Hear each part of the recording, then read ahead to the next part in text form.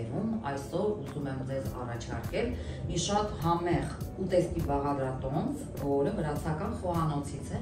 պատրաստել եմ այսօր օջախուրի։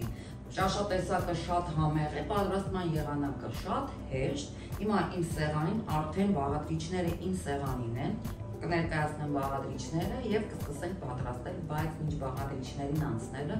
ուզում եմ շնորհակալություն հայտնել Աննային, մեր լավ բարեկամ Աննային իմ այսօրվա դիմահարդարման համար։ Աննայի Instagram-ի հղումը դուք կտեսնեք այստեղ ներքևում ձեր էկրանների վրա եւ հիմա ներկայացնեմ բաղադրիչները։ Մեզ հարկավոր է կարտոֆիլ, մոտ 1 կիլոգրամ 200 գրամ կարտոֆիլ եմ օգտագործում, խոզի, փափուկ, միս է մեզ հարկավոր 700 գրամ, բանջարեղենից օգտագործենք սոխ, մոտ 300 գրամ, կծու բիբար եւ կանաչիներ, կանաչիներից հարկավոր է մեզ համեմ, ռեհան, ա, սխտորը չմոռանամ, երեք պճեղ սխտոր է մեզ հարկավոր, մի քիչ ձետ, աղ եւ համեմունքներից օգտագործում եմ կարմիր պղպեղ մոտ 1 թեյի գթալ, մելիսուների 1 թեյի գթալ եւ սև պղպեղ։ Իհարկե պղպեղը ավելացնում ենք ըստ ճաշակի։ Եվ այսպես հիմա լավ նորից 1 2 3 Դե ինչ սկսում եմ պատրաստել, կարտոֆիլը ես արդեն կեղևը մաքրել եմ, դե իհարկե ջրի մեջ եմ պահել, որպեսզի չսևանա, սկսեմ դրանից, որ կկտրատեմ կարտոֆիլը, եւ կարտոֆիլը շատ չեմ մանրացնում։ Խոշոր կտորների եմ բաժանում։ Այսպեսի կտորներ շատ նորմալ։ Եվ դեռ վերադարձնում եմ ջրի մեջ եւ շատ կարեւոր է որ հավասարաչափ կարտոֆիլը կտրատված լինի, որպեսզի հավասարաչափ է պատրաստվի, հավասարաչափ տապակվի։ Ահա, կարտոֆիլը պատրաստ է, հիմա կտրատում եմ խոզի միսը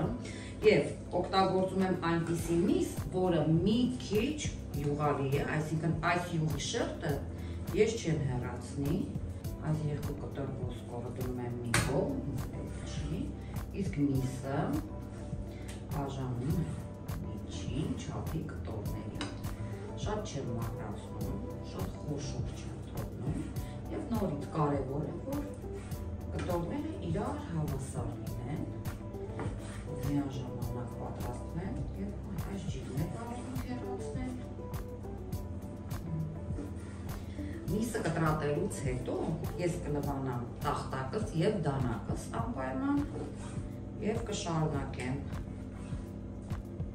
Հիմա սկսում եմ կտրատել սոխը, սոխը շատ չեմ մանրացնում, բաժանում եմ կիսալուսնաձև, բարակ, շերտերի։ Եվ այս ճաշակեցակի համար ես շատ սոխ եմ արքավոր։ Իհարկե կան մարդիկ, որոնք ընդհանրապես սոխ չեն սիրում, այդ բայց քիչ, բայց առանց սոխի օջախում սոխը կտրատեցի, հիմա կկտրատեմ կծու պղպեղը։ Իդեպ այս պղպեղը շատ կծու է, դրա համար ես օգտագործեմ պղպեղի կեսը, այսպես շերտերի եմ բաժանում, կլոր շերտերի եմ բաժանում, որպեսզի գեղեցիկ լինի պատրաստի ճաշատեսակի մեջ։ Վերջ կտրատելու էլ ոչինչ չունեմ։ Սեղանիս վրա մնացել է համեմը, ռեհանը եւ սխտորը, որոնք ես կտրատելու եմ ամենավերջին վարկյանին, որպիսի բույրը չկորցնեն այս բաղադրիչները։ Վերջի մա տեղափոխվում եմ գազօջախի մոտ եւ սկսում եմ տապակել կարտոֆիլը, միսը, մի խոսքով սկսում եմ պատրաստել օջախուրին։ Օջախուրի պատրաստելու համար առաջին հերթին տապակելու եմ կարտոֆիլը։ Տաք թավայի մեջ ավելացնում եմ մի քիչ ձետ, ավելացնում եմ կարտոֆիլը Եվ հիմա պետք է տապակել եւ ասեմ, որ հիմա դեռ ինձ պետք է որ կարտոֆիլը իր գույնը փոխի, այսինքն պետք է լավ կարմրի, դրա համար պետք է բարբերաբար խառնել եւ պետք չէ, որ լիովին ամբողջովին կարտոֆիլը պատրաստ լինի, որովհետև դեռ մսի հետևում տապակելու։ Հիմա ասում եմ, կարտոֆիլը ընդհանրապես պետք է կարմրացնել, այսինքն տապակել մինչև կարմրելը կարտոֆիլը արդեն լավ կարմրել է։ Հիմա Անում եմ կարտոֆիլը առանձին աքսեի մեջ թավան վերադարձնում եմ գազօջախի վրա եւ նույն թավայի մեջ պետք է տապակեմ խոզի միսը։ Խոզի միսը ավելացնում եմ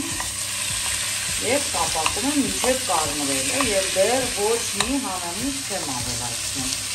Միայն կապակում եմ։ Դեռ թվում է թե որ ձետ չկա թավայի մեջ, բայց իհարկե եթելու ընթացքում, տապակրելու ընթացքում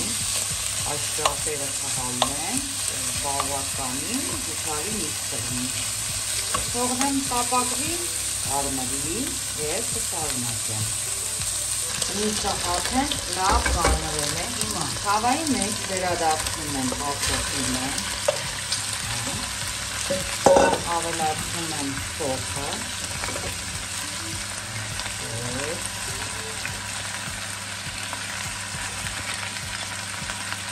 ավելացնում եմ պղպեղը բայց ավելացնում եմ պղպեղի կեսը որովհետև չափազանց պղպեղը Եվ հիմա համենում եմ աղով։ Համենելուց հետո հատնում եմ։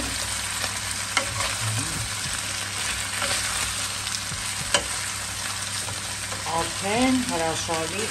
բույր ունի, այդ աշատեսակը, երբ պատկերացնում եք ինչ է լինելու, երբ որ ավելացնենք կանաչիները, սխտորը և համենությունները որովհետև դեռ միայն աղով եմ համենում։ Հիմա լավ խառնելուց հետո թավան կփակեմ կափարիչով եւ կշարունակեմ եթել, ավելի ճիշտ տապակել մոտ 10 րոպե, 10-ից 15 րոպե։ Այդ ընթացքում պատրաստ կլինի կարտոֆիլը, միսը, դե խոզի միսը շատ արագ է պատրաստվում, պատրաստ կլինի միսը եւ տապակված կլինի սոխը։ Օջախուրին արդեն գրեթե պատրաստ է։ Հիմա մեզ մնում է մի քանի ավարտական շտրիխ։ Ուրեմն առաջինը կտրատեմ կանաչիները, ամենը եւ ռեհանը։ Եվ սա ես ամենավերջին պահին եմ ավելացնում։ Որ կանաչիները իրենց բույրը հաղորդեն օջախուրին եւ իհարկե սխտողները Լավ։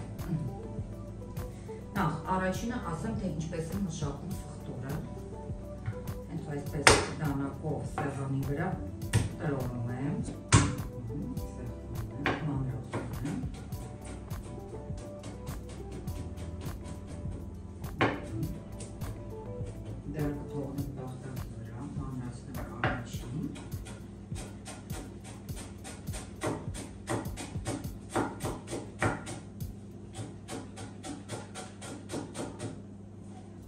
կանաչի մանրացրեցի, հիմա սխտորը խառնում եմ կանաչի հետ և նորից սկսում եմ տրորել, ընթացքում մանրացնում եմ և կանաչին և սխտորը։ Ուժը ուղակի հրաշալի է։ Վերջ։ Սա էլ է պատրաստ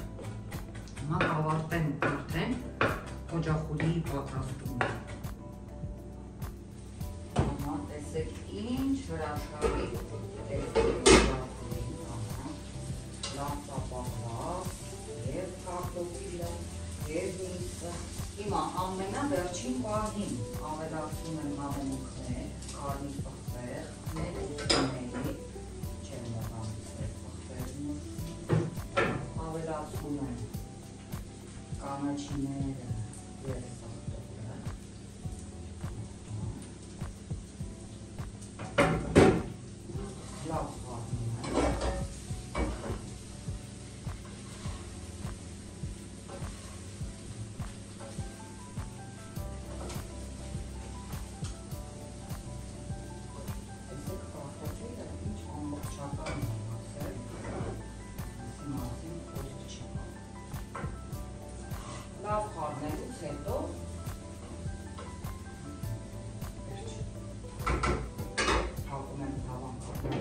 անջատում եմ գրակը, սպասում եմ 5 րոպե այդ ընթացքում բոլոր համերը իրար կխառնվեն, որից հետո արդեն ափսեջ եւ կվայելենք։ Դե իմ սիրելիներս, տեսեք ինչ գեղեցիկ է նայվում արդեն մատուցվող ափսեի մեջ օջախորին։ Բույրը, որ հրաշալի է, համները վստահեցնում ձեզ, որ շատ համեղ է, այնպես որ մի համտեսեք այս բաղադրատոմսը, պատրաստեք, վայելեք եւ ինքներդ կհամոզվեք, որ ինչ համեղ է այս ճաշատեսակը։ Իսկ վերջում եւս մեկ անգամ հիշեցնում եմ, որ կարող եք բաժանորդագրվել խոհանոց կետեի մեր YouTube-յան արիքին, սեղմեք զանգակը, որպեսզի տեղեկացված լինեք մեր բոլոր տեսանյութերի մասին, լայքեք մեր տեսանյութերը, թողեք ձեր մեկնաբանությունները։ Իդեպ, շնորհակալություն եմ հայտնում ձեզ ձեր լավ, բարի մեկնաբանությունների համար։ Մեզ շատ հաճելի է իմանալ ձեր կարծիքը մեր աշխատանքի մասին։ Իսկ ձեզ հետ, ինչպես միշտ Աննաներ, կհանդիպենք հաջորդ անգամ եւ նորից համեղ բան պատրաստելու, այնպես որ հետևեք մեզ։